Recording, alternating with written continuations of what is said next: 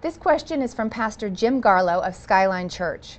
Speaker Gingrich, given the fact that what President Obama has done is so severe and the judiciary has become an imperialistic oligarchy, if you were to get 60 conservatives in the Senate, a majority in the House, and you as president, can this nation be turned? Jim, I think it's very possible to save America, to turn us around from the secular radical position that Barack Obama and much of the elite has taken. I think it does require a campaign this fall that is a unifying campaign.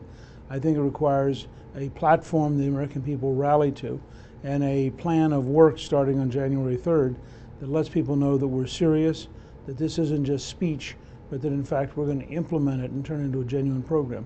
But I believe it's possible to fundamentally change the anti-religious bias of the judiciary by bringing the will of the people to bear, both in the Congress and in the White House.